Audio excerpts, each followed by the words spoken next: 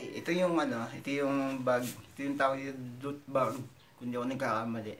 Ito yung tumakbo ako ng ah, 21 kilometer dito sa Lucena, 2014. Then, ito naman yung sa anak ko, tumakbo siya ng ah, 3K yata. So, nakatanggap siya ng ganito. And yung time na yun, ah, maganda kasi nga, ah, itong bag na to, souvenir ba, na bawa, ah, nakatapos ka na ng marathon. So, pwede mo siya ilagay yung mga certificate mo dito. Ako lang kasi meron akong ano eh, meron akong goma. So, mapapansin mo yung yung gomang yun, nasa panta, nasa ano ko, nasa sapatos ko yun kasi doon ako naglalagay ng papel na yung perang papel tapos tinatalian ko lang goma. Tapos yung pag ano, pag meron akong mabigat kasi pagbariya eh. So, yung go, yung ano, yung pag tapos na ako ng marathon, dito ano, yung binibilot ko yung ano, yung certificate tapos nilagyan ko siya ng goma. Tapos dito ko nilalagay sa loot bag.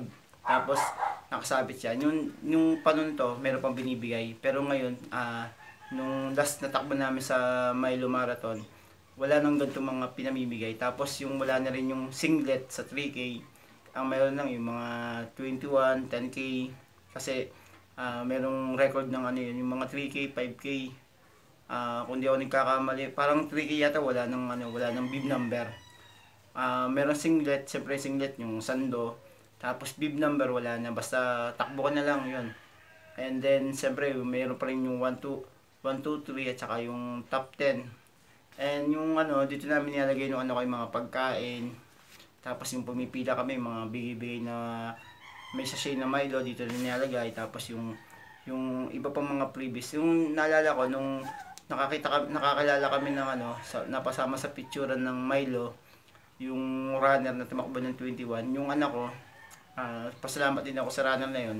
Ang daming binigay ng mga previous na galing sa kanya kasi nakatakbo siya ng 21 kilometer. Tapos natuwa yung ano yung runner. Binigyan ng ano ng another na kung ano ng mga binigay sa anak ko. And salamat din sa runner na yun kasi nga ah tuwan-tuwa yung ano ko yung first time yung papa dami nito papa binigay sa akin ng runner na yung babae tapos yung lalaki. So mas, ma- pasalamat din dahil may bag akong dala-dala. So kwento ko lang na dati meron to pero ngayon nung last na Milo wala talaga eh.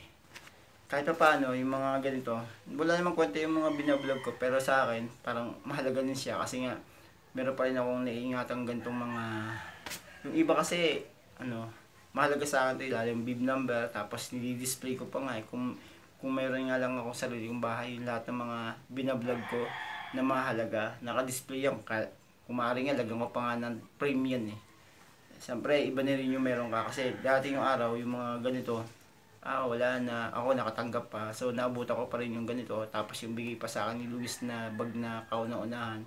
So, iba rin may collection ka. So, iba, tawag doon, maingat sa gamit. So, yun lang, and dito ko na tinatapos ang vlog na to. So, yun lang, and salamat din sa runner na yun. Yun yung may photo slide ako na ginawa kong video kasama sila. And yung nag-shoot yan, jump shot, yun, nag, ano, then, Ah, yun nga, yung mga bigay sa anak ko. Maraming salamat din. So, salamat din sa photographer, kina, kina Diego, yan. Tsaka yung si Jerry, yun. And then, salamat din sa runner na nagbigay ng maraming mga freebies na nakuha niya sa 21, ibinigay sa anak ko. So, yun lang and paalam, bye.